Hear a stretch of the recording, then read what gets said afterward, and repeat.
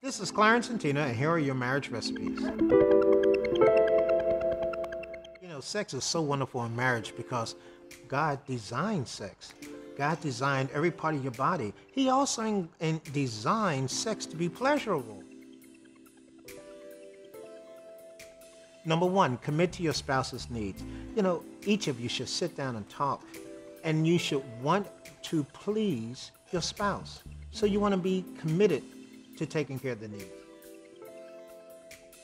Ingredient number two is create an atmosphere. You know what? If you've got stuff thrown all over your bedroom, guess what? Nobody's going to feel like having sex and being intimate. But if you light a few candles, allow the aroma, set the atmosphere, come on, you're going to have some hot sex. Tip number three is mutual respect for your partner. It's important that when you're coming together that you uh, realize your spouse's uh, boundaries. You don't want to step over them. You don't want anyone to feel embarrassed or to feel uh, awkward in anything that you may be trying new. Uh, have fun.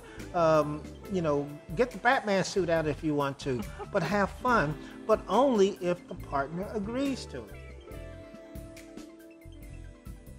Lastly, ingredient number four be patient.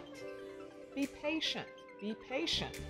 And I say that because sometimes as we're learning each other and learning each other's needs, might not get it right the first time, might not get it right the second time. But as we follow all of the ingredients and we're patient with our spouse, you're going to see improvement, I guarantee you. These are just a few tips. But if you're interested in finding out more, visit our website at flamingheartministries.org.